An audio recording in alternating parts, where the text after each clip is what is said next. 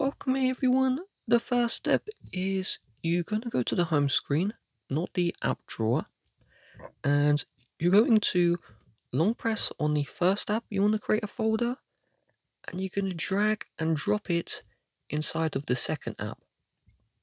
In here, we have the folder, and if I tap on the folder, I can change the name, and if I long press on the folder, you can customize the settings here. And with that being said, if you'd like to help support the channel, please do check the description. Bye bye.